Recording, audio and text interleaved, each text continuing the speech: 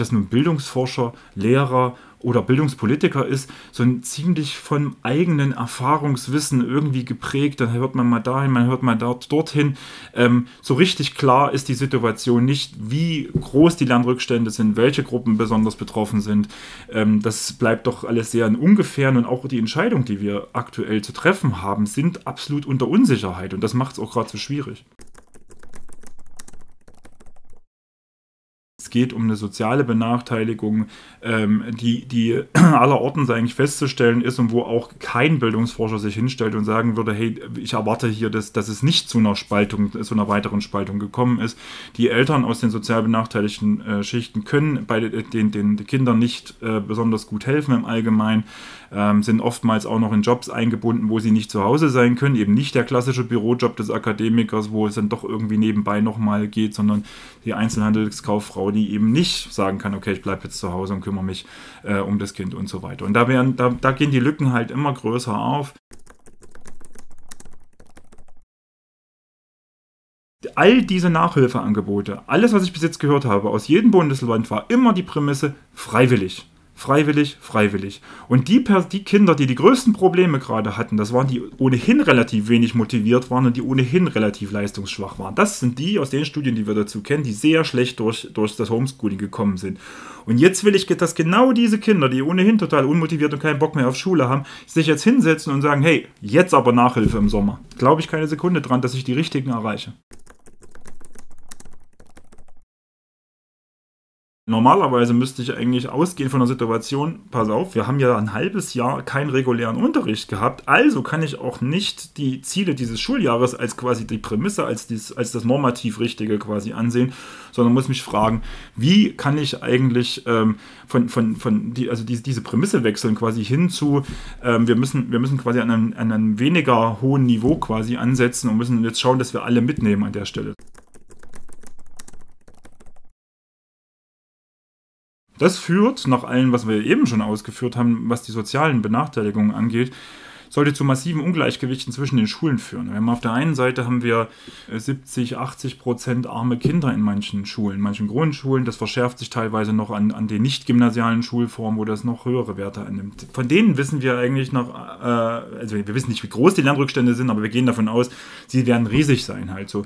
Und wenn ich jetzt genau an diesen Schulen die, die Schüler sich nach dem verhalten, was sie eben nicht können, dann müssten sie eigentlich in großer Masse sitzen bleiben. Und dann wird auf einmal die, die jeweilige Einzelschule für eine riesige Herausforderung gestellt, dass von unten quasi Schüler nachkommen, von oben bleiben welche sitzen und das kann eine Schule alleine überhaupt nicht auffangen. Also das Risiko, was man da schulstrukturell geht, ist dermaßen hoch und dermaßen wenig zu, voraussehbar.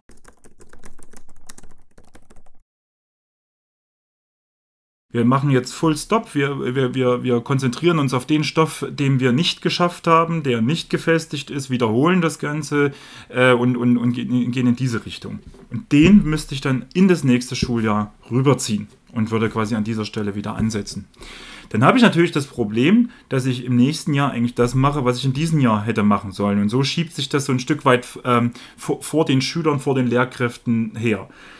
Dann sind zwei Hoffnungen damit verbunden. Nummer eins, dass Lehrer über einen längeren Zeitraum viel eher entscheiden können, vielleicht auch individuell entscheiden können. Das finde ich jetzt nicht so wichtig. Das finde ich jetzt wichtiger. Auch die Ministerien, die da vielleicht nochmal Handreichungen geben, okay, hier und da können wir vielleicht mal ein paar Abstriche machen und so sich das über den Schulverlauf ein Stück weit einpegelt und dass nur das wirklich Unwichtige, wenn man das so nennen kann, nicht gemacht wurde.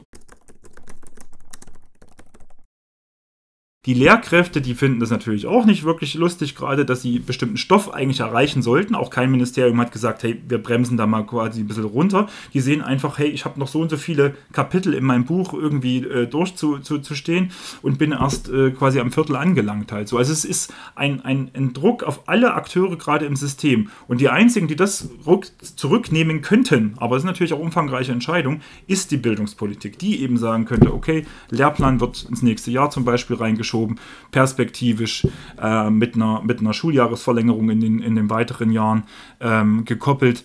ähm, jahrgangsübergreifendes Lernen stärker zulassen, ähm, in, auch in den höheren Schulformen, in den Grundschulen passiert das teilweise. Das wären so, so die, die ersten Ansätze, würde ich sagen, wo man äh, systematisch diesem Problem etwas Herr werden könnte. Also, also es ist ein, ein, ein Druck auf alle Akteure gerade im System. Und die einzigen, die das zurücknehmen könnten, aber es ist natürlich auch umfangreiche Entscheidung, ist die Bildungspolitik, die eben sagen könnte, okay, Lehrplan wird ins nächste Jahr zum Beispiel reingeschoben, perspektivisch äh, mit einer, mit einer Schuljahresverlängerung in den, in den weiteren Jahren ähm, gekoppelt. Ähm, jahrgangsübergreifendes Lernen stärker zulassen, ähm, in, auch in den höheren Schulformen, in den Grundschulen passiert das teilweise. Das wären so, so die, die ersten Ansätze, würde ich sagen, wo man äh, systematisch diesem Problem etwas Herr werden könnte. Wenn ich am Ende sage, ich verlängere die Schulzeit und packe einfach nur den Stoff um, also quasi von dem jetzigen Schuljahr ins nächste Schuljahr, ins darauffolgende und, und, und, dann muss das nicht heißen, dass uns Schulstoff verloren gehen muss. Dann kann das eigentlich im regulären Schulbetrieb, könnten wir das eigentlich wieder aufholen. Und das ist eigentlich auch gewollt. Was ist der, die, die schlimmste anzunehmende Alternative, wenn ich sage, lasst uns mehr Zeit nehmen und äh, äh on the long run ein weiteres Schuljahr oder ein weiteres halbes Schuljahr einführen? Was passiert uns da? Eigentlich passiert uns da relativ wenig. Wir müssen als System darauf reagieren, ein paar mehr Lehrkräfte einstellen oder ein paar mehr viele Lehrkräfte einstellen und ein paar Schüler werden sich langweilen, weil sie bestimmten Schulstoff dann schon zum zweiten Mal gehört haben.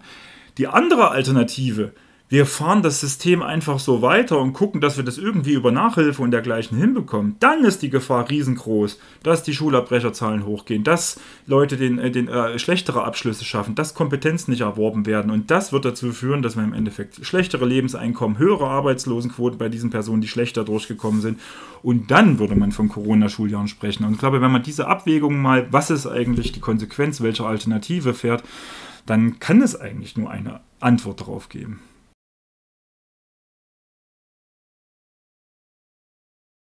Vor über einem Jahr, im März 2020, da wurden die Schulen in Deutschland wegen der Pandemie erstmals geschlossen. Und nach wie vor bremst Corona den regulären Schulbetrieb weiter aus. Wie es aussieht, wird es bis zu den Sommerferien keinen flächendeckenden Präsenzunterricht mehr geben. Und das bedeutet, es wird weiter Unterricht ausfallen. Welche Folgen hat das für den Lernstand der Schülerinnen? Was können Bildungspolitiker tun, um gravierende Lerndefizite zu verhindern oder wenigstens wieder auszugleichen? Darüber spreche ich jetzt mit Professor Marcel Helbig. Er ist wissenschaftlicher Mitarbeiter am Wissenschaftszentrum in Berlin. Daneben leitet er auch noch den Arbeitsbereich Strukturen und Systeme am Leibniz-Institut für Bildungsverläufe in Bamberg. Herr Helbig, beginnen wir mit einer Analyse der Lage. Was wir sicher wissen, Unterricht ist ausgefallen. Es wird auch weiterhin Unterricht ausfallen. Gelegentlich gibt es Zahlen von der Kultusministerkonferenz zu Schulschließungen, aber insgesamt ist die Datenlage eher dünn. Kann man trotzdem das Ausmaß des Unterrichtsausfalls irgendwie beziffern?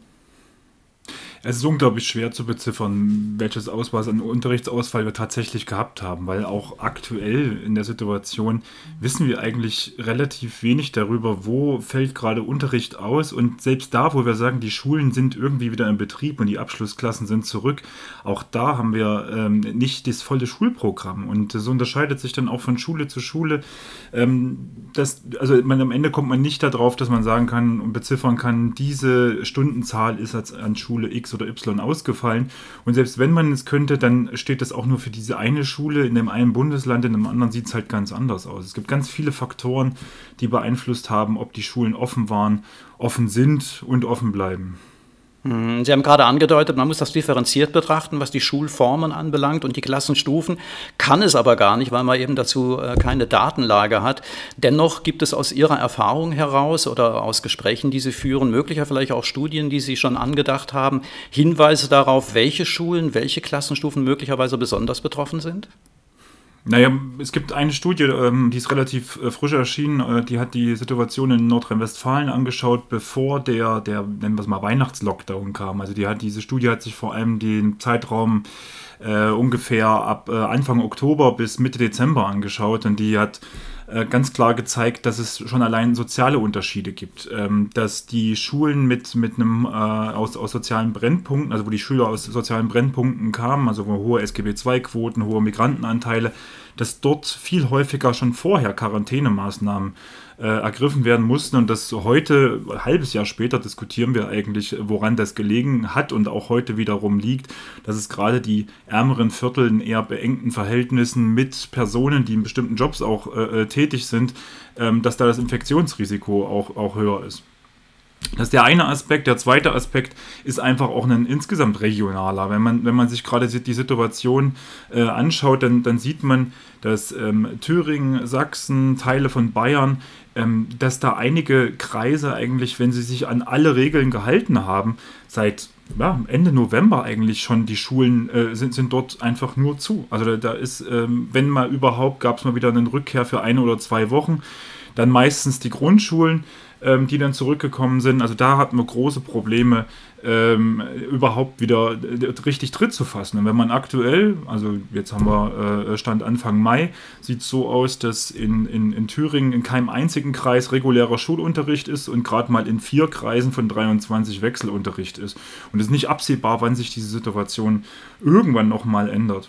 Und wenn man dann das Ganze nochmal nach Klassen differenziert anguckt, also die, die wir besonders stark reingelassen haben, waren natürlich die Abschlussklassen, weil im Endeffekt der Abschluss anscheinend auch in manchen Teilen mehr zählt als das, was man dann wirklich äh, verpasst. Die Grundschüler sind eher reingekommen als vor allem die fünften, sechsten, siebten, achten, neunten Klassen. Also ich glaube, dieser Bereich, gerade siebte, achte, neunte Klasse, sind in vielen Bundesländern äh, ähm, noch gar nicht wieder zurückgekommen in die Schule. Hm. Sie haben jetzt gerade angedeutet, man muss das regional betrachten. Sie haben auch schon darauf hingewiesen, dass es auch mit Blick auf die einzelnen äh, Schüler natürlich sehr differenziert betrachtet werden muss. Da werden wir gleich auch noch vertieft darauf eingehen. Wie gehen Sie jetzt als Bildungsforscher eigentlich mit der Situation um? Kann man denn, äh, wenn man schon den Ausmaß nicht beziffern kann, denn etwas zu den Folgen der Defizite sagen, die ja an allen Schulen, wenn auch ungleich, aber sicherlich an allen Schulen äh, stattfinden wird? Denn wichtiger Lernstoff wird entweder gar nicht oder eben nur schlecht vermittelt. Ja. Aber aktuell haben wir das große Problem, dass wir so gut wie nichts wissen, was vor allem in diesem aktuellen Lockdown passiert ist. Wir fanden ja schon diesen ersten Lockdown von zwei Monaten Schulschließung in manchen Bundesländern und Regionen etwas mehr fanden wir ja schon als, als ein einschneidendes Erlebnis.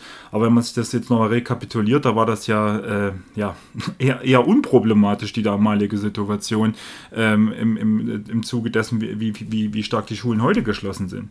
Und aus diesem Zeitraum, aus diesen zwei Monaten Schulschließung, haben wir eigentlich auch die einzigen Ergebnisse, die uns irgendetwas sagen. Also da gibt es einige internationale Studien, ähm, relativ gut, gut gemachte aus den Niederlanden, ähm, Belgien und ähm, eine amerikanische amerikanische Studie fällt mir noch dazu ein, die aber wirklich nur diese zwei Monate, die haben ähnlich wie in Deutschland das auch gewesen ist, auch ungefähr zwei Monate Schulschließungen gehabt. Und die kam eher zu den Ergebnissen, dass es massive Lernrückstände gegeben hat direkt nach diesen Lockdown-Maßnahmen. Die niederländische Studie, die es dazu gibt, die, die hat es so hoch beziffert, als hätte es äh, gar keine Schule in dieser Zeit gegeben. Also hätten die Schüler gar nichts gelernt in dieser Zeit. Es gibt ein paar deutsche Studien dazu, die wurden durch die, ähm, die Bundesländer selber ähm, veranlasst. Ähm, die, die äh, wurden in Hamburg durchgeführt, eine in Baden-Württemberg, eine ähm, methodisch nicht ganz nachvollziehbare aus, aus Brandenburg. Die haben ein nicht ganz so verheerendes Bild wie die inter internationalen Studien gezeigt, gerade auch in Hamburg, die sich aber dann aber auch nur Deutsch und Mathematik ähm, angeschaut haben, kommt zu dem Ergebnis, wir haben eigentlich kaum Lernrückstände in diesem ersten Lockdown beobachtet aber sie gehen auch, also Hamburg selber geht damit nicht groß hausieren. Sie schränken das selber ein, sagen, hey, wir haben unglaublich viel daran investiert, dass gerade in diesen beiden Hauptfächern die Rückstände klein sind. Äh, Hamburg ist auch eins der, der Bundesländer, was äh, schon Nachhilfestrategien in, in, den letzten Sommerferien be begonnen hat, Feriencamps und dergleichen. Das, was sie jetzt versuchen, wieder ein Stück weit aufzulegen und sind da auch ein bisschen als äh, Vorreiter zu bezeichnen.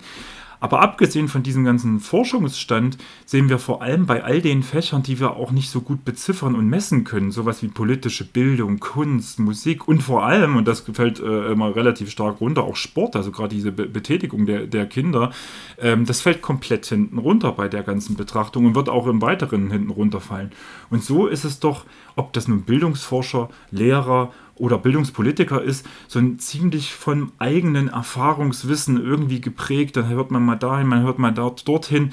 Ähm, so richtig klar ist die Situation nicht, wie groß die Lernrückstände sind, welche Gruppen besonders betroffen sind. Ähm, das bleibt doch alles sehr in Ungefähren und auch die Entscheidungen, die wir aktuell zu treffen haben, sind absolut unter Unsicherheit und das macht es auch gerade so schwierig. Ja, jetzt sind ja in der jetzigen Situation die Schulen auf verstärkten digitalen Unterricht umgestiegen. Jahrelang hat man es gefordert. Wenn Corona vielleicht etwas Positives gebracht hat, dann ist es der Push für digitales Lernen an den Schulen. Äh, wenn Sie da mal draufblicken, wie beurteilen Sie denn die Qualität des Distanzunterrichts? Das ist auch, ne, wo, wo man halt hinschaut. Also äh, Punkt 1, was mich immer etwas verwundert in der ganzen Diskussion, dass wir bis kurz vor Corona immer wieder darüber geredet haben, dass der Breitbandausbau im ländlichen Raum teilweise miserabel ist. Und dann soll von einem Tag auf den anderen ein perfekter Videounterricht äh, funktionieren. Das ist rein technisch nicht möglich. Und da wurde das immer, die armen Kinder, die kein Laptop haben, so drauf fokussiert. Aber gerade das, wie, wie lief das in, in, in manchen Räumen, wurde überhaupt nirgendwo thematisiert und äh, liegt auch so quasi der, der da hüllt sich so der äh, Mantel des Schweigens ein Stück weit äh, drüber an der Stelle. Ansonsten wissen wir nicht viel, aber das, was wir wissen zum, zum Distanzunterricht, ist vor allem immer nur die, die, die Quantität, zum Beispiel auch von, von Videounterricht. Und da sind teilweise ähm, im Hinblick auf Schulformunterschiede sehr, sehr beeindruckende Ergebnisse. Während die, der Videounterricht und überhaupt die Rückmeldung, das Feedback, die Aufgabenstellung ähm, an den Gymnasien relativ positiv beurteilt werden. Vielleicht sogar einen Überdrehen in die andere Richtung, also dass man zu viel Videounterricht, sieben, acht Stunden am Tag, also man weiß auch nicht, was das mit den Kindern in dem Moment macht, aber jedenfalls sind da ähm, zu großen, großen Teilen die Lehrer dran ähm, und, und haben quasi relativ schnell die Umstellung anscheinend geschafft, zumindest bis in den zweiten Lockdown dann äh, hinein. Und was wir aber auch immer wieder sehen, dass, äh, und das ist je nach, nach, nach Befragung unterschiedlich, aber bis zu 70, 80 Prozent aller Grundschulklassen hatten überhaupt keinen Videounterricht und das auch nicht im zweiten Lockdown halt so.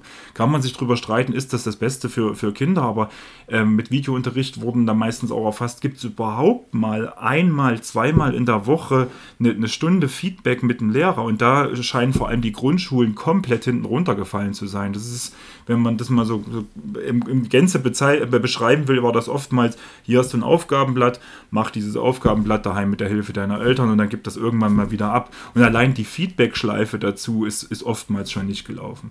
Und die zweite Schulform im Sekundarbereich, also die ja unterschiedlich in den verschiedenen Bundesländern heißt, aber äh, die Schulform unterhalb des Gymnasiums hatte mit den gleichen Problemen zu kämpfen. Auch da vielleicht die Hälfte, je nach Befragung der, der Schüler, die da im Videounterricht unterrichtet wurden. Ja, nahezu alle Bereiche, die wir bisher angesprochen haben, stellen wir fest, es gibt große, große Unterschiede. Sie haben vorhin schon äh, einen ganz wichtigen Aspekt angesprochen. Es trifft eben nicht alle Schüler gleich. Je nachdem, an welcher Schule man ist, in welcher Region man sich befindet, aber vor allen Dingen auch im Blick auf die soziale Herkunft, die familiäre Situation. Da haben Sie in einem Artikel von einer strukturellen Benachteiligung verschiedener Gruppen gesprochen. Können Sie das mal vielleicht ein bisschen konkretisieren, was Sie damit meinen? Naja, also konkretisieren, ähm, machen wir mal ein Beispiel Berlin. In, in, der letzten, in der letzten Einschulungsuntersuchung aus, aus Berlin wurde, ähm, wurde eine Zahl von ungefähr 8 bis 10 Prozent aller eingeschulten Schulkinder hatten keinen Elternteil daheim, was Deutsch spricht, spricht, sprechen konnte. Das heißt also, ein Zehntel ist allein schon mal so weit benachteiligt, dass im Haushalt nicht mal die deutsche Sprache gesprochen wird. Und da kann man davon ausgehen, dass Berlin da nicht die höchsten Werte aufweist, sondern einige Ruhrgebietsstädte noch, noch deutlich höhere Werte aufweisen werden, was die, die Anteile von Migranten angeht und darüber auch vermittelt, dass im Haushalt nicht Deutsch gesprochen wird. Die fallen schon mal komplett hinten runter. Woher soll das am Ende für, die, für diese Personen kommen? Wo soll, wo, die, wo soll die Hilfe der, der Kinder sein? Aber es ist viel zu einfach, das auch zu fokussieren nur auf migrantische Milieus. Es ist im Endeffekt, und das ist, glaube ich, das Zentrale, es geht um eine soziale Benachteiligung, ähm, die, die allerorten eigentlich festzustellen ist und wo auch kein Bildungsforscher sich hinstellt und sagen würde, hey, ich erwarte hier, dass, dass es nicht zu einer Spaltung, zu einer weiteren Spaltung gekommen ist. Die Eltern aus den sozial benachteiligten äh, Schichten können bei den, den, den Kindern nicht äh, besonders gut helfen im Allgemeinen ähm, sind oftmals auch noch in Jobs eingebunden, wo sie nicht zu Hause sein können. Eben nicht der klassische Bürojob des Akademikers, wo es dann doch irgendwie nebenbei nochmal geht, sondern die Einzelhandelskauffrau, die eben nicht sagen kann, okay, ich bleibe jetzt zu Hause und kümmere mich äh, um das Kind und so weiter. Und da, werden, da, da gehen die Lücken halt immer größer auf. Äh, oftmals dann auch noch gekoppelt, dass eine, die Kinderzahl im Haushalt in manchen, äh, vor allem sozial benachteiligten Schichten etwas höher ist. Und da kommt dann gleich das nächste drauf, dass drei bis vier Kinder im Homeschooling dann auch gern mal sind bei zu wenig Geräten. Und das ist immer so, als würde, also man kriegt so den Eindruck, wenn man auch diese Berichte darüber hört, als wären das irgendwie alles Einzelfälle. Aber ich glaube, das ist eine große Gruppe von Personen und am Ende ist eben die Frage, wie, wie, wie groß sind insgesamt diese Personengruppen, die ich als at risk für all diese äh, Problemlagen halt ansehe. Ähm, da, um dann daraus auch abzuleiten, ja, wie, bei wie viel muss ich jetzt eigentlich auch ansetzen, um diese Problemlagen zu beheben nach Corona? Ja, also im Prinzip verschärft ja äh, Corona etwas, was uns ja seit Jahren hier in Deutschland beschäftigt. Das wird uns ja auch immer wieder vorgeworfen von der OECD in verschiedenen Studien, dass eben die Herkunft in Deutschland äh, ganz entscheidend ist für den Bildungserfolg. Also die Schulen stehen ja schon seit Jahren auch, äh, was das anbelangt, unter Druck. Es ist ja auch seit Jahren die Diskussion, wie man Bildungsungerechtigkeit, Chancenungleichheit an deutschen Schulen abbauen kann. Jetzt haben wir Corona, Sie haben es gerade beschrieben, es ist aber vor allen Dingen ein äh, familiäres Problem. Also es ist gar nicht so äh, eine Frage, wie die Schulen ihren Job tun, sondern wie die häusliche Situation zu Hause ist. Also wie kann man denn in der jetzigen Situation damit umgehen, dass das, was dem deutschen Schulsystem immer schon vorgeworfen wird, sich nicht noch weiter verschärft? Äh, Gibt es da irgendwelche Vorschläge, Lösungsansätze, die Sie sehen, damit benachteiligte Kinder nicht noch weiter abgehängt werden? Denn wir wissen ja alle nicht, wie lange die Situation an den Schulen noch anhält. Ich, ich meine, das sind, sind oftmals sind das so ähm, Initiativen, die so ein bisschen Grassroot daherkommen, manchmal auch mit ein bisschen Geld unterstützt, die, die sich dann ähm, darum kümmern, dass irgendwie in den jeweiligen Vierteln ähm, dem einen oder anderen Kind dann geholfen wird. Dann gibt es Initiativen, wo Lehramtsstudenten so als Mentoren auftauchen. Da gibt es, glaube ich, ganz viele Beispiele in Deutschland auch aktuell und da brauchen wir auch, ähm, will ich auch gar nicht den Eindruck erwecken, als fände ich das irgendwie schlecht oder nicht ausreichend oder dergleichen. Aber man kann nicht ausgehend von, von den Problemen, mit denen wir es wahrscheinlich zu tun haben, irgendwie sagen, hey, das reicht in irgendeiner Weise aus. Und man ist ja auch total darauf angewiesen, dass sich in bestimmten Regionen Personen engagieren, dort helfen, wo, wo eben nur zu helfen ist. Ähm, das wird am Ende bei einigen Familien ankommen, aber das wird nicht ein flächendeckendes Problem lösen allein solche ähm, Dinge wie, wie die Mittagessenversorgung wurde auch, es wird immer nur über Lernrückstände oder sowas äh, äh, geredet, also welch einschneidendes Erlebnis das für viele Familien jetzt auch gewesen ist, wenn die Kinder nicht mehr ähm, ähm in der Ganztagsgrundschule gewesen sind, nicht mehr überhaupt äh, Mittagessen äh, partizipierten halt so. Da machen wir uns gar keine, keine wirklichen Vorstellungen ähm, an dieser Stelle. Und das sind einfach so strukturelle Dinge, wo man sich eigentlich gefreut hat über einige Jahre, dass man einige Benachteiligungen in den Griff bekommen hat und dass man dadurch auch vielleicht gesündere Ernährung in bestimmten Schichten auch hinbekommen hat. Und das Puff ist auf, einen, auf einmal komplett weg. Und das interessiert uns eigentlich auch relativ wenig, jedenfalls in der öffentlichen Berichterstattung interessiert uns das relativ wenig. Und wenn uns das da nicht interessiert, tun wir auch relativ wenig, um da wieder einzuwirken. Und die Bundesnotbremse ist gerade ein super Beispiel dafür, äh, dass, dass man da auch äh, regional völligst ohne Augenmaß alles kaputt schlägt, wo Initiativen vielleicht gewesen sind, die auch mal über den In In Inzidenzwert äh, hinaus mal geguckt haben, was sind eigentlich die sozialen Folgen dessen, was ich hier auch gerade tue. Hm, ich glaube, in den Bundesländern, äh, in den Ministerien ist das ja durchaus bewusst. Man versucht ja auch darauf zu reagieren. Wir hatten ja jetzt beispielsweise in Baden-Württemberg schon im vergangenen Jahr die sogenannte Sommerschule, wo man eben Nachhilfe angeboten hat, insbesondere für die Kinder, die eben schlechter durch die Pandemie äh, äh, hindurchkommen. 60.000 Kinder haben immerhin diese Angebote genutzt. Auch in Nordrhein-Westfalen wurde das Unterstützungsangebot eben aufgestockt in diese Richtung. 36 Millionen zusätzlich eben für außerschulische Nachhilfeangebote. Ähm, wie ist das zu bewerten? Ähm, ist das ein Tropfen auf einen heißen Stein oder ist das etwas, wo man sagt, naja, was sollen Schulen sonst noch anbieten? Wie bewerten Sie diese Maßnahmen? Das, ist, das, sind eigentlich die beiden wichtigsten Punkte so mit drin. Was sollen Schulen auch äh, sonst noch anbieten? Das Problem ist, dass, dass dieses, dieses Nachhilfe ähm, und Sitzenbleiben, da kommen wir vielleicht später noch dazu, das sind die Dinge, die Schule schon immer tut. Und äh, man weiß ja auch nicht so recht, wie soll man sich sonst helfen in dieser ganzen Situation. Problematisch ist Nummer eins, dass wir in der ganzen Situation, und vielleicht ist es auch dadurch begründet, dass wir im November noch ausgingen, ach komm, im Januar geht das schon irgendwie weiter, aber die Situation ist Mai und wir haben immer noch nichts, dass das irgendwie weitergeht. Äh, man hat die ganze Zeit orientierte man sich an, an einem Bild, davon, dass wir aktuell äh, in, in, in einer, naja, meiner kurzen Ausnahmesituation stecken, aber wir haben die Norm, die Ziele dieses Schuljahres zu erreichen halt so. Und dieses ganze Nachhilfe und Klassenwiederholung, das setzt genau diese Norm als das, woran wir uns orientieren. Mittlerweile glauben die aller, allerwenigsten, glaube ich, noch dran, dass, die, dass dies ein normales Schuljahr ist, wo wir in breiter Masse alle Kinder die, die Bildungsziele des Schuljahres erreicht haben. Aber dennoch kommen wir eigentlich wieder zurück und machen Dinge wie zum Beispiel auch Nachhilfe und orientieren uns an verpassten Lernstoff dieses Schuljahres und glauben, dass das irgendwie für ein paar Prozent der Kinder nun ausreicht, wenn man die dann irgendwie reinkriegt an, an dieser Stelle. Und das ist, glaube ich, schon mal, das stellt die total, also das dreht eigentlich die Situation um, weil normalerweise müsste ich eigentlich ausgehen von der Situation, pass auf, wir haben ja ein halbes Jahr keinen regulären Unterricht gehabt, also kann ich auch nicht die Ziele dieses Schuljahres als quasi die Prämisse, als, dies, als das normativ Richtige quasi ansehen, sondern muss mich fragen, wie kann ich eigentlich ähm, von, von, von die, also die, diese Prämisse wechseln quasi hin zu, ähm, wir, müssen, wir müssen quasi an einem, an einem weniger hohen Niveau quasi ansetzen und müssen jetzt schauen, dass wir alle mitnehmen an der Stelle. So, und jetzt ganz kurz noch zu, zu der Frage halt so, inwieweit diese, diese Nachhilfe dann funktioniert.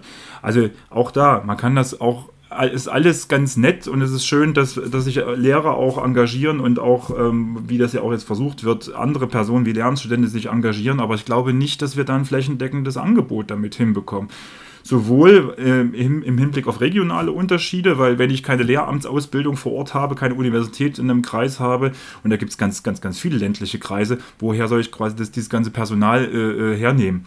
Das ist Punkt 1. Und Punkt 2 ist, dass all diese Nachhilfeangebote, alles, was ich bis jetzt gehört habe, aus jedem Bundesland war immer die Prämisse freiwillig. Freiwillig, freiwillig. Und die, die Kinder, die die größten Probleme gerade hatten, das waren die ohnehin relativ wenig motiviert waren und die ohnehin relativ leistungsschwach waren. Das sind die aus den Studien, die wir dazu kennen, die sehr schlecht durch, durch das Homeschooling gekommen sind. Und jetzt will ich, dass genau diese Kinder, die ohnehin total unmotiviert und keinen Bock mehr auf Schule haben, sich jetzt hinsetzen und sagen, hey, jetzt aber Nachhilfe im Sommer. Glaube ich keine Sekunde dran, dass ich die richtigen erreiche. Hm. Sie haben es ja äh, schon äh, in den Ausführungen kurz äh, an, aufscheinen lassen. Es gibt ja hoffentlich auch mal eine Zeit nach Corona. Da wird äh, mit Sicherheit auf die Schulen eine Menge an Aufräumarbeit zukommen. Worüber wir ja jetzt gesprochen haben, sind ja eher, wie gehe ich in der momentanen Situation äh, damit um? Was kann man tun, damit die Lernrückstände nicht noch größer werden? Aber lassen Sie uns mal auf einen Blick werfen auf die Zeit danach. Da wird es ja vor allen Dingen darum gehen, eben die benachteiligten Kinder ähm, mitzunehmen, ohne dass man sie ungebührlich unter Druck setzt, das, was Sie jetzt ja schon äh, angedeutet haben. Und auf der anderen Seite aber diejenigen, die besser durch die Pandemie gekommen sind, nicht auch noch zusätzlich dadurch belastet, dass man sie langweilt, sozusagen. Ähm, da gibt es unterschiedliche äh, Ansätze, wie man äh, damit umgehen will, perspektivisch.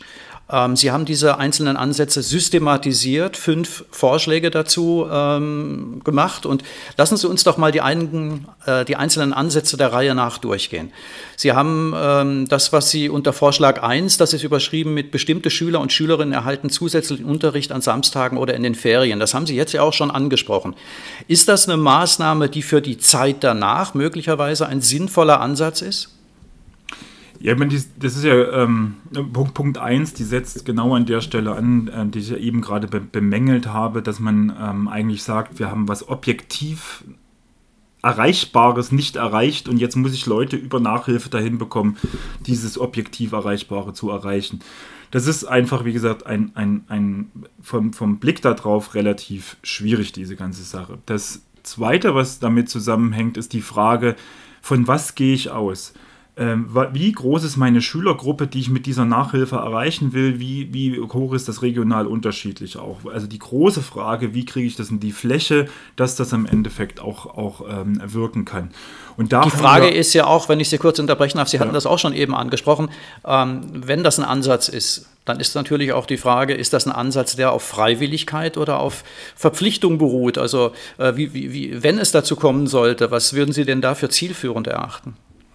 Ja, ich meine, diese, das, ist, also das, das Problem ist, alle sagen, okay, das muss freiwillig sein, aber eigentlich sind sich die allermeisten, die sich damit mal ein bisschen näher auseinandersetzen, relativ bewusst, dass ich gerade die problematischsten Kinder äh, mit den größten Lernrückständen eher nicht dazu bekomme, dass die sich nun freiwillig dann zu, zusammenfinden an der Stelle. Also von daher ist das schon, schon mal ein, ein größeres Problem.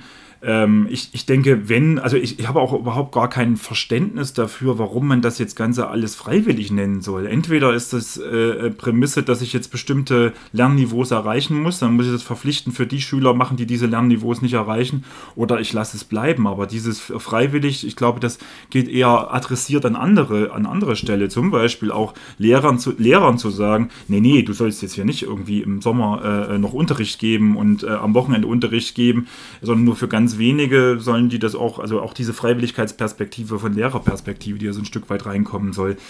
Also eine ziemlich komische Diskussion, finde ich, auch gerade im Hinblick auf diese äh, Freiwilligkeit. Aber das ist ja auch noch nichts, was, was, was wirklich im Zentrum der Debatte, ob, ob nun freiwillig oder nicht freiwillig ist. Wir sind noch an der Stelle, wo ja Bund und Länder da erstmal ein Programm aufsetzen wollen und das ja anscheinend, ich glaube, heute sogar äh, verkünden wollen, was da genau passiert. Aber wenn das der Ansatz wäre, zu sagen, wir, wenn der reguläre Schulbetrieb wieder laufen sollte, zusätzlich auch äh, das Nachhilfeangebot auszuweiten, das ist ja äh, eine hehre äh, Vorstellung, aber wir haben ja jetzt schon einen erheblichen Lehrkräftemangel an den Schulen, kriegen das ja im regulären Schulbetrieb gar nicht gestemmt. Ist es denn realistisch, davon auszugehen, dass ein ausgeweitetes Nachhilfeprogramm tatsächlich an der Schule irgendwie äh, regulär stattfinden kann? Also, soweit ich das bisher verstanden habe, will man eigentlich gar nicht auf den bestehenden Lehrkörper da so groß zurückgreifen. In manchen Bundesländern, wie Sie es schon sagen, geht das sowieso nicht, äh, weil, weil zu wenig äh, Personal einfach mal vorhanden ist und die, die äh, äh, die, die Lücke quasi da in den letzten Jahren schon gerissen wurde ähm, und ähm, man da eigentlich kein Stück weiterkommt an der Stelle. Also man will zurückgreifen auf Lehramtsstudenten, man pensionierte Lehrkräfte will man zurückholen, wo man auch die Frage stellen kann, hey, wie viel sind das denn am Ende? Also wo man auch viele Fragen noch 0,0 beantwortet hat an der Stelle private Nachhilfeinstitute, das ist ja auch immer etwas, was man da irgendwie äh, thematisiert an der Stelle. Das große Problem, was ich einfach bei, bei der ganzen Sache auch von externen Personen halt sehe, dass das nicht ineinander greift. Also dass man hat auf der einen Seite den Lehrer, der hat genau das Kind vor Augen und weiß, wo eigentlich die Probleme aus Corona heraus resultierten. Jetzt soll sich aber jemand anders darum kümmern, genau diese Probleme irgendwie in den Griff zu bekommen. Halt. So, da sind so viele Reibungsverluste, die dadurch auch entstehen werden. Es ist auch genau gerade bei kleinen Kindern, dass der die Bezugsperson durchaus relativ äh, mhm. äh, schnell mal wechseln kann an der Stelle. Also es, es sind im Endeffekt ja. Auch die Frage natürlich, wie man das mit dem regulären Unterricht verknüpfen könnte, ist natürlich auch wieder sehr schwierig. Ne? Wenn man da auf der einen Seite die Profession hat, die die Nachhilfe anbietet, wie lässt sich das dann wieder abgleichen mit dem, was im regulären Schulunterricht weitergegangen ist, integrieren? Also ich sehe schon, Sie haben da, ähm, sagen wir mal, doch Bedenken, dass das äh, ein Ansatz ist. Ich denke, als Angebot wird er wahrscheinlich kommen, aber ob das der Ansatz ist, der uns wirklich äh, voranbringt, äh, merke ich zumindest bei Ihren Ausführungen ein Fragezeichen. Kommen wir doch mal zum nächsten Ansatz. Da ist ja auch in der Diskussion, dass man äh, Schülerinnen und Schülern eben das Angebot macht, ein Schuljahr einfach freiwillig zu wiederholen, wenn man das Gefühl hat, dass man zu viel verpasst hat. Ja. Ist das möglicherweise ein Ansatz, der besser ist?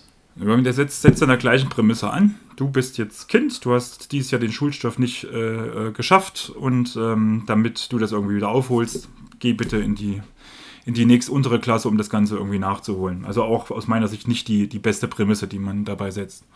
Das sind jetzt zwei Dinge zu erwarten, die jetzt daraus äh, hervorgehen könnten. Das ist Nummer eins. Die Kinder bleiben jetzt wirklich nach dem, was sie können oder nicht können, also da, wo die Lernrückstände am größten sind, ähm, bleiben sie nun freiwillig sitzen und wiederholen die Klasse. Das führt, nach allem, was wir eben schon ausgeführt haben, was die sozialen Benachteiligungen angeht, sollte zu massiven Ungleichgewichten zwischen den Schulen führen. Auf der einen Seite haben wir nicht nur in Berlin, auch in anderen äh, Schulen 70, 80 Prozent arme Kinder in manchen Schulen, in manchen Grundschulen. Das verschärft sich teilweise noch an, an den nicht gymnasialen Schulformen, wo das noch höhere Werte annimmt. Von denen wissen wir eigentlich noch, äh, also wir wissen nicht, wie groß die Lernrückstände sind, aber wir gehen davon aus, sie werden riesig sein halt so. Und wenn ich jetzt genau an diesen Schulen die, die Schüler sich nach dem verhalten, was sie eben nicht können, dann müssen sie eigentlich in großer Masse sitzen bleiben. Und dann wird auf einmal die, die jeweilige Einzelschule für eine riesige Herausforderung gestellt, dass von unten quasi Schüler nachkommen, von oben bleiben welche sitzen und das kann eine Schule alleine überhaupt nicht auffangen. Also das Risiko, was man da schulstrukturell geht, ist dermaßen hoch und dermaßen wenig zu, voraussehbar. Das ist aber, gerade heute kam die Meldung aus Berlin, wo das äh, versucht wird äh, die, mit, mit der freiwilligen Wiederholung. Da sollten die Meldungen bis, bis äh, vor ein paar Wochen, ähm, sollten die Meldungen, ob man freiwillig sitzen bleiben will, kommen. Und das Ergebnis ist, es hat keinen Anstieg gegeben. Also die Kinder und die Eltern verhalten sich anscheinend nicht nach den Lernrückständen ihrer Kinder. Und das ist dann die zweite Alternative, die jetzt quasi, die man diskutieren muss in diesem Zusammenhang. Was passiert denn jetzt? Jetzt hat eigentlich das Schulsystem gesagt, okay, alle, die nicht der Lage, der Lage waren, den Lernstoff vom letzten Jahr zu erfüllen, die sind sitzen geblieben. Alle anderen, bei denen kann ich jetzt schön wieder an der Stelle ansetzen, wo das normale Schuljahr eigentlich ansetzen müsste. Und ich habe es jetzt mit großer Masse mit Kindern zu tun, die eben da nicht mithalten können, die eben große Lernrückstände haben.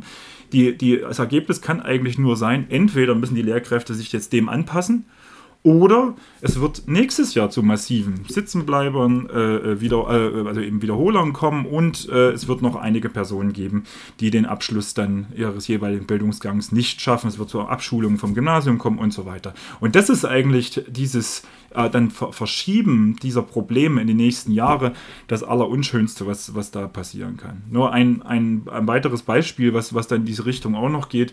Äh, in Sachsen ist es in dieser Phase zwischen dem letzten und diesem Schuljahr, also während Corona, zu einem Anstieg der Gymnasialempfehlungen gekommen und das nicht nur um 1%, sondern um 6%, was darauf hinweist, dass die Lehrer auch in großer Zahl und wahrscheinlich nicht nur in Sachsen ganz milde bewertet haben, weil sie niemanden den Weg verbauen wurden aber, und dadurch aber gar keine Rückmeldung gegenüber Schüler oder Eltern gemacht haben, hey, sollte das Kind jetzt nur sitzen bleiben oder sollte es das jetzt nur nicht?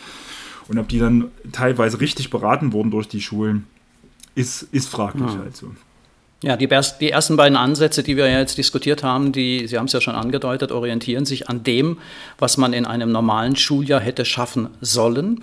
Und Sie sagen, das wird schwierig, das hinzubekommen. Äh, der dritte Ansatz, den Sie identifiziert haben, der geht eben von einem ganz anderen äh, Modell aus. Der sagt eben, man sollte sich jetzt eben nicht daran orientieren, was die Lehrpläne vorgegeben haben und dann versuchen, das auf Teufel komm raus wieder aufzuholen, was da verpasst wurde, sondern der andere Weg, den haben Sie so überschrieben, vermeintlich überflüssiger Lernstoff wird weggelassen damit verpasster Lernstoff in den sogenannten zentralen Fächern nachgeholt werden kann.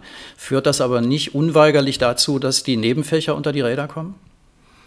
Ja, ich meine, man, man, kann das fokussieren ähm, auf, auf nur, ähm, oder beziehungsweise ja, man, man kann das, wenn, wenn man das so fokussiert, wird das am Endeffekt das Ergebnis sein. Also wir haben ja ohnehin in der ganzen Diskussion und auch in dem, wie gerade auch Schule agiert, in vielen Schulen jedenfalls, ist Mathe, Deutsch äh, quasi ganz weit im Vordergrund. Die Lesekompetenzen, die, die Grund, grundlegenden Mathekompetenzen sollten quasi gesichert werden, um Teufel kommt raus. Und alles andere ist eigentlich auch im letzten Jahr schon hinten runtergefallen.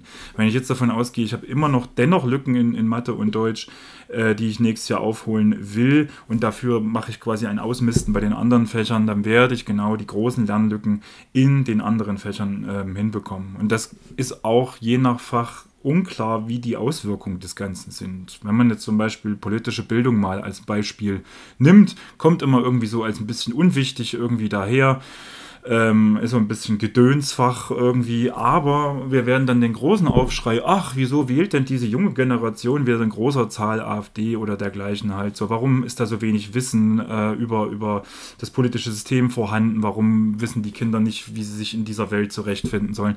Das sind einfach alles Dinge, die als auch ein Stück weit heruntergefallen sind, ähm, aber eben auch, ähm, also alle, alle möglichen Fächer im Endeffekt. Aber ist es überhaupt realistisch anzunehmen, man könnte jetzt irgendwie eine Entscheidung darüber finden? Ich meine, da müssen ja irgendwelche Kommissionen gebildet werden oder ähm, wie kann man sich das konkret vorstellen, welcher Lernstoff denn jetzt vermeintlich überflüssig ist? Kann man nicht vorstellen, mein, dass die einzelnen Fächer das einfach so hinnehmen werden. Ne? Die werden natürlich auch sagen, ne, um Gottes Willen, aber jetzt nicht auf unsere Kosten. Also ähm, ich, ich, hätte deshalb auch eher dann einen anderen Ansatz, würde ich, würde ich, also der, der hängt da so ein Stück weit mit zusammen, aber einen anderen Ansatz würde ich präferieren. Und dieser Ansatz, der sollte eigentlich eher sagen, ähm, Gut, alles, was bis, bis also wir, wir werden in diesem Schuljahr keine neuen Lehrstoffe mehr machen, an keiner Schule in Deutschland. Wir machen jetzt Full Stop, wir, wir, wir, wir konzentrieren uns auf den Stoff, den wir nicht geschafft haben, der nicht gefestigt ist, wiederholen das Ganze äh, und, und, und gehen in diese Richtung.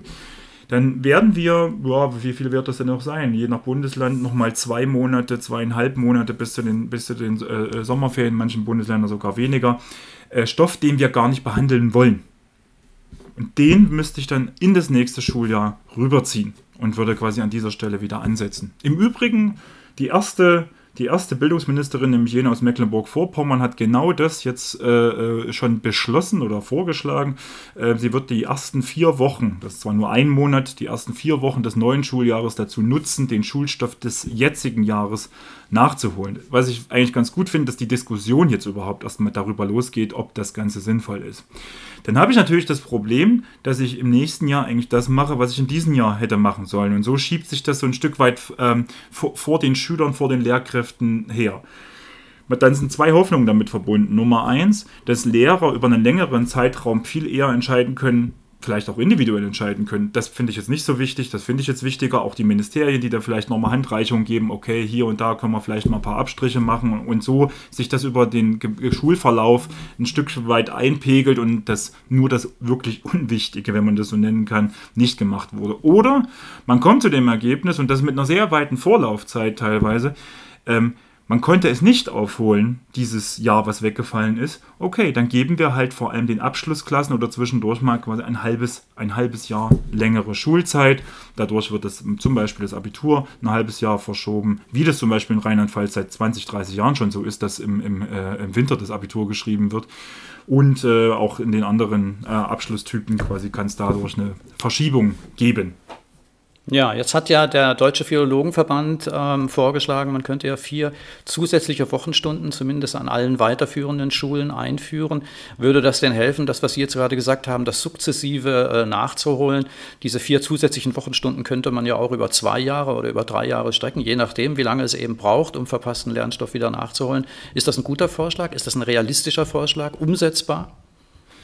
Wenn ich den Philologen, also das ist ja auch das Schöne, ne? wir haben 16 Philologenverbände, weil jedes Bundesland hat einen eigenen Philologenverband. Aber soweit ich das verstanden habe, oder den Vorschlag, den, der, der, äh, der mit da im Sinn kommt, da hatten die gesagt, nicht nur, dass sie drei oder vier Stunden dann nur länger, also quasi ähm, äh, aufschlagen wollen an der Stelle, sondern gerade wo, wo mehr Zeit jetzt noch drin ist, also für die jetzigen 7., 8., 9. Klassen, dass man dann äh, für die eben auch eine Verlängerung äh, der Schulzeit macht. Das heißt eben eine Rückkehr in vielen Bundesländern von G8 zu G9 äh, äh, quasi wieder aufnimmt. Das passt dem Philologenverband natürlich in manchen Bundesländern gerade sehr gut rein, äh, dass man da, dass dieses, dieses Thema wieder hochziehen kann. Aber man muss ihnen an dieser Stelle auch dann nochmal recht geben.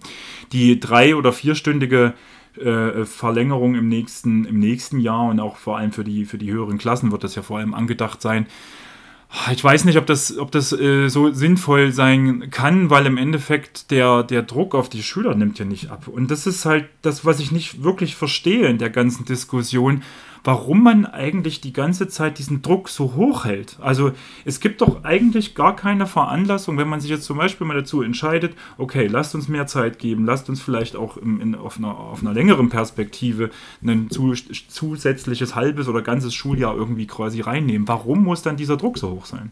Ja, da in diese Richtung zielt ja auch äh, Vorschläge, die ja auch äh, diskutiert werden, eben zu sagen, na komm, machen wir es doch radikal, ähm, einfach das ganze Schuljahr, das ist äh, quasi nichts gewesen wegen Corona. Bevor wir da jetzt äh, differenzieren, was wir gar nicht in der Breite können, machen wir einfach das Schuljahr nochmal verpflichtend, ein Jahr nochmal für alle. Ist das ein Vorschlag, wo Sie sagen, das ist sinnvoll? Also das ist so, so der, der Radikalvorschlag, der vor allem jene, äh, jene stark tangiert, die relativ gut durchgekommen sind, weil die sollen jetzt alles nochmal machen, was dort gewesen ist. Und äh, diese, dieser Ansatz, der sagt ja auch, ich mache jetzt ein ganzes Jahr neu, äh, nochmal und nicht nur das, was jetzt tatsächlich weniger an, an Schule gelaufen ist. Also vielleicht ein halbes Jahr, je nachdem, wie gut der Distanzunterricht gelaufen ist, vielleicht nur vier Monate oder sowas, die ich eigentlich objektiv nachholen müsste, setze ich jetzt ein ganzes Jahr an. Das ist das eine. Das zweite ist, von unten schiebt eine Kita-Kohorte nach und die hat ungefähr eine Größe von knapp 800.000 Kindern. Und diese 800.000 Kinder müssen dann ohnehin überfüllte Schulen, vor allem in Großstadt- und, und, und Metropolenregionen, da schiebt diese, diese Gruppe halt rein. Da gibt es keine Räume und es gibt auch keine Lehrer. Also jedenfalls nicht in diesem Umfang. Also ich bin mir nicht ganz sicher, welche, welche Zahl ich in meiner Publikation angegeben habe. Ich glaube, es sind 40.000 Lehrkräfte, die dann nochmal zusätzlich im Grundschulbereich kommen müssten und aus Perspektive heute völligst unmöglich weil die müssten zum nächsten Schuljahr am 1. September überall zur Verfügung stehen, die Räume müssten zur Verfügung stehen. Ähm, wenn dieser Vorschlag jemals irgendwie realistisch umsetzbar gewesen wäre, dann hätten wir uns wahrscheinlich im Oktober letzten Jahres darüber unterhalten müssen, wie wir das äh, eintüten. Aus Perspektive Mai 2021 ist es 0,0 hm. realistisch mehr. Ja, um vollständig zu bleiben in Ihrer Systematik, mhm. Sie hatten es aber eben schon kurz gestreift, das wäre eben nicht das ganze Schuljahr, sondern Ansatz 5, den haben Sie so identifiziert, dass Sie sagen, naja, man könnte ja einfach das laufende Schuljahr verlängern bis Weihnachten beispielsweise, dann auch die Einschulung entsprechend äh, später machen. Ähm, ist das zielführend?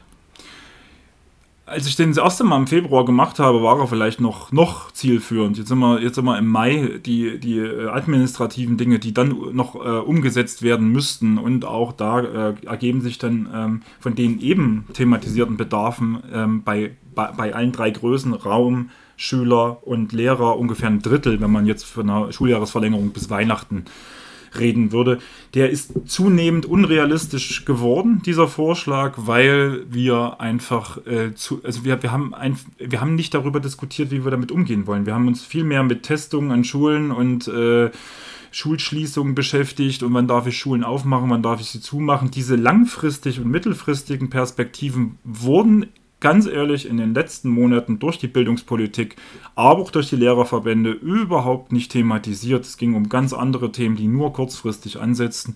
Und von daher haben wir uns in diesem Zeitraum dieser drei Monate, wo wir jetzt nicht drüber geredet haben, auch Optionen einfach mal genommen die Schuljahresverlängerung, wenn man sie einbringen will, dann eher später nochmal ansetzend, also quasi zu einem Zeitpunkt, ähm, wo es um Abschlussklassen dann geht, also die quasi heutigen achten Klassen beispielsweise, dass die dann ein halbes Jahr in der Abschlussklasse länger machen, um verpassten Stoff on the long run irgendwo aufzuholen.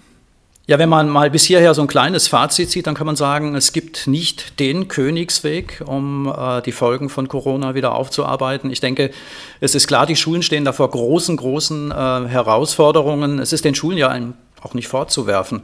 Denn äh, Corona ist eine besondere Situation, eine große Herausforderung für die gesamte Gesellschaft. Also insofern äh, sollte man da jetzt nicht so defizitorientiert äh, draufschauen, sondern sollte irgendwie fragen, was kann jeder dazu beitragen, dass man da zu sinnvollen Lösungen kommt? Was kann denn Ihre Profession dazu beitragen, damit die Dinge, die die Bildungspolitiker perspektivisch anpacken in den nächsten, naja, man muss vielleicht von Jahren reden, um das, was jetzt hier verpasst wurde, wieder aufzuholen, zu vernünftigen Lösungen zu kommen. Was können Sie als Bildungsforscher dazu beitragen? Sind vielleicht neue Studien nötig? Laufen möglicherweise schon Studien, wo Sie sagen, naja, da erwarte ich mir wichtige Erkenntnisse, die helfen können? Wie ist da die Lage? Ja, ich finde find das, äh, ich glaube auch so aus der eigenen Perspektive relativ ernüchternd, was, was wir da zu erwarten haben. Ähm, und ich finde es, fände es auch sehr schlimm, dass, wenn das kommt, was ich eigentlich auch erwarte. Das, was, was ich erwarte, ist, dass äh, wir Bildungsforscher dann wieder kommen, also vor allem die quantitativ orientierten Bildungsforscher, und werden dann spätestens, äh, die nächste PISA-Studie ist für nächstes Jahr angesetzt, werden wir dann äh, wieder mal hören, wie schlimm sich das alles entwickelt hat. Ähm, und was man denn nicht alles getan, nicht, nicht getan hätte an der Stelle. Und das ist leider quasi das, was wir zu einem sehr späten Zeitpunkt erst mitbekommen werden. Also ich will auch jeden irgendwo den Ansatz nehmen, jetzt zu sagen, äh, wir müssen jetzt ganz schnell diese Kinder testen, um zu sehen, wo sind die Defizite, um dann genau zu gucken, wo muss ich eigentlich ansetzen. Ich glaube, das wird mit einer relativ guten Forschung äh, gekoppelt relativ sinnlos sein, dieses Unterfangen. Es wird sehr stark auf diese Hauptfächer Mathe Deutsch ausgerichtet sein. Es werden sich wahrscheinlich am Ende genau die Dinge zeigen, die ich eben kurz angesprochen habe, also soziale Ungleichheiten, migrationsspezifische Ungleichheiten, ein bisschen regionale Geschichten wird man da drin sehen. Nichts, was einen jetzt nur total überraschen würde halt an der Stelle. Also ich glaube, vor, vor allem aus dieser Perspektive wird da relativ wenig kommen. Die, die, also jedenfalls kurzfristig äh, und äh, beratend auch für, für Politik dann eben jetzt kurzfristig. Also wir werden jetzt keine Lösung quasi parat haben, die den jetzt handelnden Personen irgendwie was abnehmen. Ähm, wir können nur wie ich das ja auch gerade mache, irgendwie die Diskussion versuchen mit zu befeuern aus dem, was wir aus der Bildungsforschung eben auch wissen und uns auch die Fragen stellen, Leute, habt ihr manche Dinge einfach nicht so wahrgenommen? Wie zum Beispiel, dass die, die Forschung eher der Meinung ist, äh, die empirische Bildungsforschung, dass Nachhilfe relativ wenig bringt, dass Klassenwiederholungen völlig nutzlos waren, was dann auch dazu geführt hat, dass in einigen Bundesländern Klassenwiederholungen mehr oder weniger ausgesetzt wurden, wie in Hamburg. Und jetzt soll das irgendwie wiederkommen. Also da fragt man sich quasi dann schon an dieser Stelle. Wo Wenn Sie mal an der Stelle vielleicht ja. den Pfad des Wissenschaftlers verlassen, denn äh, ich merke, es sind natürlich sehr viele Fragezeichen, gerade was die Empirie anbelangt. Möglicherweise kommt die Empirie auch zu spät, um äh, Dinge da eben wieder äh, gut machen zu können. Aber ich stelle mir jetzt gerade einen Schulleiter vor, der diese Probleme ja auch alle sieht. Versetzen Sie sich doch mal in die Lage eines Schulleiters und Sie sehen jetzt äh, Schüler, wo Sie sagen, mein Gott, die kippen mir in diesem Schuljahr wirklich weg. Wie kriege ich die denn in nächster Zeit, in den nächsten Monaten, in den nächsten Jahren wieder dahin, dass ich sagen kann, die können erfolgreich ihre Schullaufbahn beenden? Was würden Sie denn vorschlagen? Was kann man denn da tun? Wie gesagt, jetzt nicht empirisch abgesichert, sondern eher aus Ihrem Erfahrungswissen heraus gefolgert. Äh, das, das ist total. Äh, also die, die Frage ist insofern schwierig, wo sich schon wieder dann ansetzt, was kann der einzelne Schulleiter jetzt tun? Ähm, natürlich kann der Schulleiter auch äh, sinnvolle Dinge tun, die er auch sonst tun sollte. Ne? Also da, darauf hinwirken, dass vor allem sozial benachteiligte Gruppen, dass die Differenzen ausgeglichen werden, die ohnehin mitkommen, die durch Corona verstärkt wurden, dass äh, dass auch quasi, dass, dass, ähm, quasi die Grundlagen auch an, an, an der Lehrerschaft geschaffen wurden, weil das ist auch ein Teil der Wahrheit, dass an manchen Schulen manche Lehrkräfte einfach auch einen nicht adäquaten Unterricht mit keinem Feedback, mit, mit keiner guten Strukturierung, ohne Videounterricht, kaum erreichbar. Es gibt mehr als genug dieser Beispiele halt so.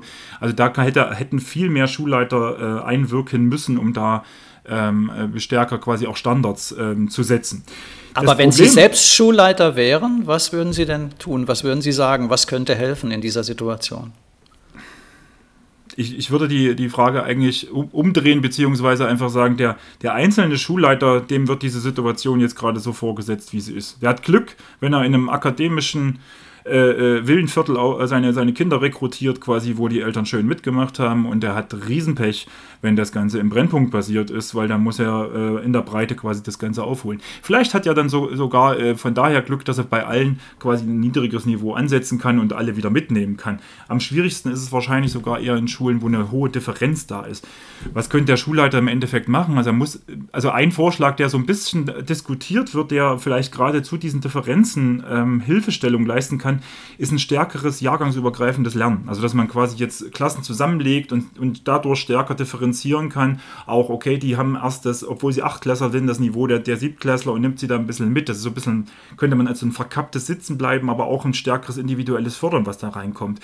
Das ist aber genau wie viele andere Dinge, wenn die Bildungspolitik nicht die Rahmen dafür setzt, quasi, dass das auch möglich ist, dann bin ich da auch als Schulleiter mir auch so ein bisschen die Hände gebunden, was, ja. was diese Vers Geschichten angeht. Versetzen Sie sich doch mal dann in die Lage eines Bildungsministers, meinetwegen auch in Thüringen, wenn Sie morgen gewählt werden würden.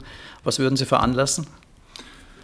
Ich würde wahrscheinlich massiv äh, die, die also ich würde um, umstellen, Umstellungen vornehmen in dem, ähm, in dem Ganzen, wie das, wie, das, wie das Schuljahr verfasst ist, wie die Lehrpläne verfasst sind. Also ich würde als allererstes versuchen, Druck irgendwie rauszunehmen. Und das ist nicht nur der Druck für die Schüler, es ist der Druck, also es ist ja auch der Druck für die Eltern, die aktuell auch kaum in der Diskussion halt vorkommen.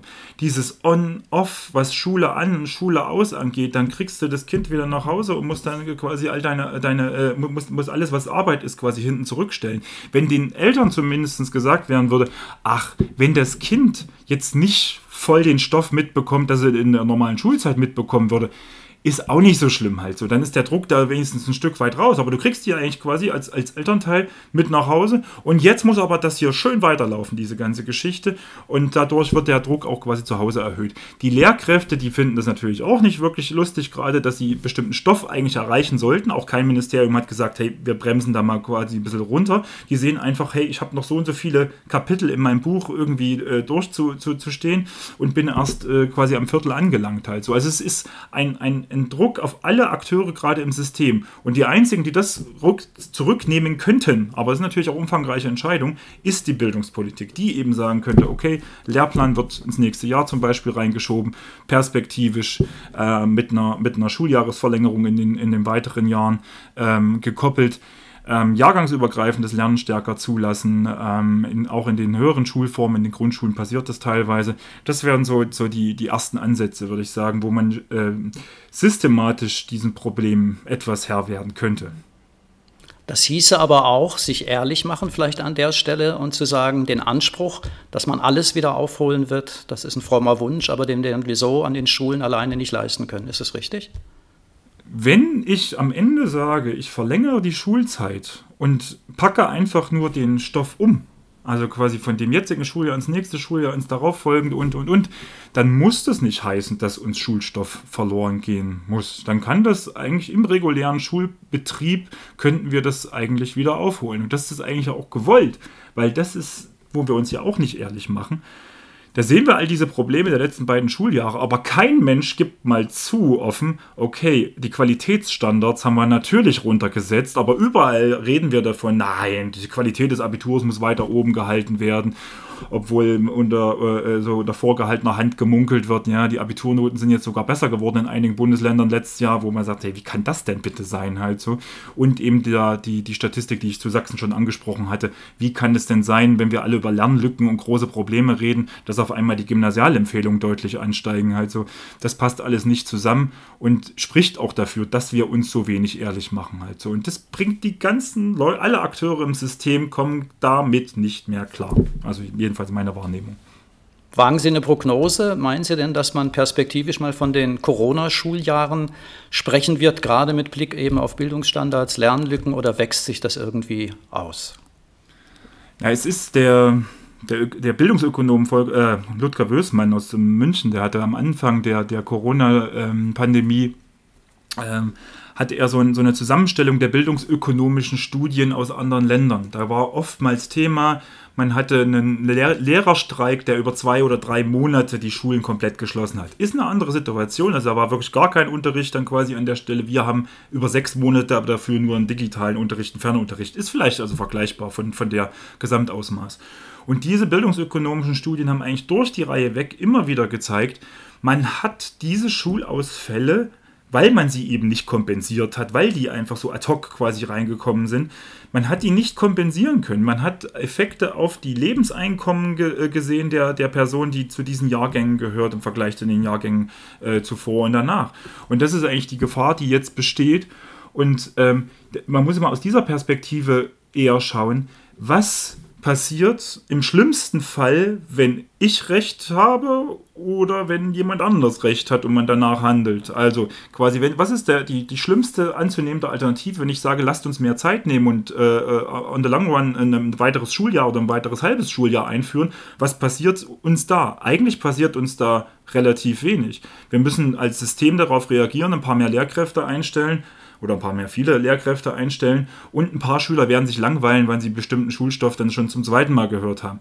Die andere Alternative wir fahren das System einfach so weiter und gucken, dass wir das irgendwie über Nachhilfe und dergleichen hinbekommen, dann ist die Gefahr riesengroß, dass die Schulabbrecherzahlen hochgehen, dass Leute den, äh, den äh, schlechtere Abschlüsse schaffen, dass Kompetenzen nicht erworben werden. Und das wird dazu führen, dass wir im Endeffekt schlechtere Lebenseinkommen, höhere Arbeitslosenquoten bei diesen Personen, die schlechter durchgekommen sind.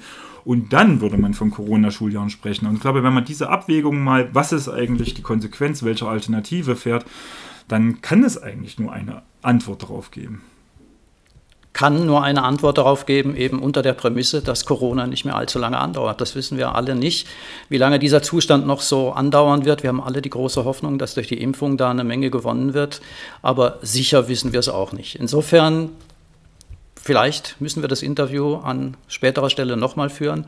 Das war nur eine Momentaufnahme, was wir hier äh, erörtern konnten gemeinsam.